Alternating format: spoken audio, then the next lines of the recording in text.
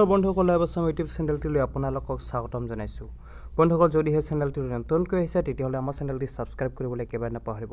বন্ধুসকল আজি আমি ভিডিঅ'টোত জানিম যে ইউ জি চি এ এক্সামৰ ওপৰত কি কথা কৈছে বা কি নতুন নটিফিকেশ্যন আহিছে বা এই এক্সাম কেনেধৰণে হ'ব যি ইউনিভাৰ্চিটি এক্সাম দিব পাতিব তেওঁলোকে অৰ্ডাৰ দিছে বা নটিফিকেশ্যন জাৰি কৰিছে। গতিকে চাওঁচোন আহক এই ভিডিঅ'টো।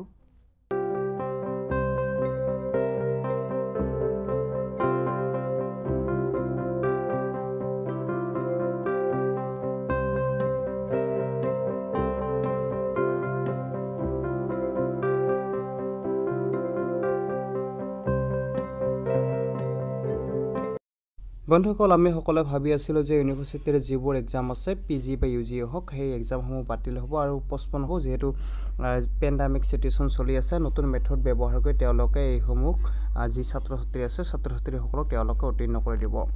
কিন্তু কালি সন্ধিয়া হঠাৎ এটা নতুন ইনফৰ্মেশ্যন আহিল। আঠমান বজাত আহিল।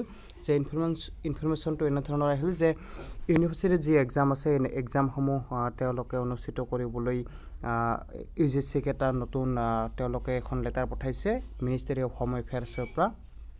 যি ইউনিয়ন হায়াৰ এডুকেশ্যন ছেক্ৰেটাৰী আছে তেওঁলোকলৈ এখন নটিফিকেশ্যন পঠাইছে বা এখন লেটাৰ পঠাইছে। আৰু লেটাৰখনত কি কথা হৈছে আমি সবিশেষ এই ভিডিঅ'টোৰ জৰিয়তে জানিম।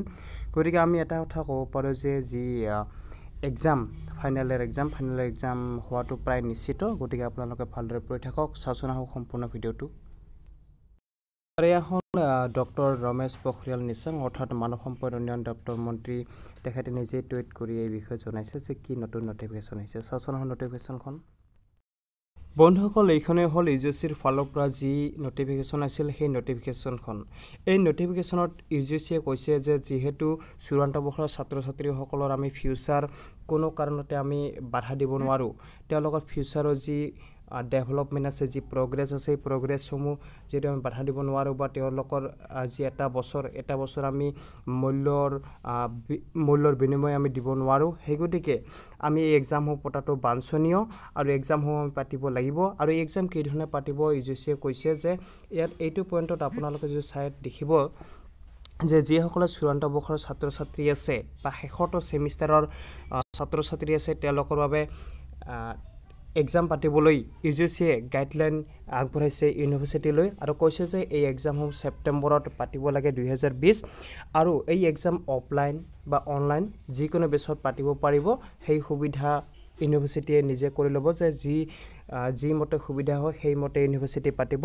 আৰু ইয়াতে এটা উল্লেখনীয় বা গুৰুত্বপূৰ্ণ এটা পইণ্ট কৈছে সেই পইণ্টটো এনেধৰণৰ যে যদিহে কোনো ষ্টুডেণ্টে এই এক্সামত বহিব নোৱাৰে আনএবল হয় যিকোনো কাৰণতে তেওঁ হ'ব পাৰে। তেতিয়াহ'লে সেই ষ্টুডেণ্টখিনিৰ কাৰণে ইউনিভাৰ্চিটিয়ে এটা ভাল অপৰচুনিটি দিব লাগিব এক্সাম বহাৰ কাৰণে।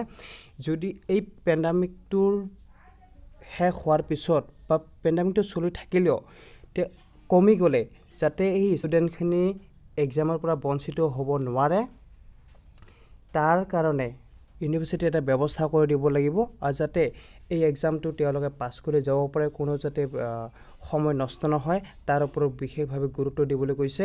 গতিকে যদিহে আপুনি এক্সাম দিব নোৱাৰে এই এক্সামটো গতিকে কোনো ভয় খোৱাৰ দৰকাৰ নাই। অতি সোনকালে আপোনালোকৰ বাবে ইউনিভাৰ্চিটি এক্সাম পাতিব। গতিকে ইয়াত কোনো ভয় দৰকাৰ নাই। গতিকে পঢ়ি থাকক ভালকৈ পঢ়ক এক্সাম হোৱাটো প্ৰায় নিশ্চিত।